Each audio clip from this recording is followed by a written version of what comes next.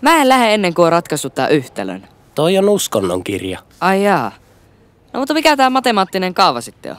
Näyttäis sivunumerolta. Saatana! Tuu! Oikeesti tulkaa auttaa! No, m- mitä kävi? Ilari hyppii mun päällä! Antti, tuu hiilaa. Jumalation, Antti, sullahan nänni keskellä naamaa. Jumalation. Jumalation, mulla onkin kikkeli kasvanut. Eikö se olekin housun nanu? Ei jumaa jätkät. Meikä pasko housu. Mitä varten? No kun sä juotit mulle pontikkaa. Ei siinä pullossa ollut kuin limpparia.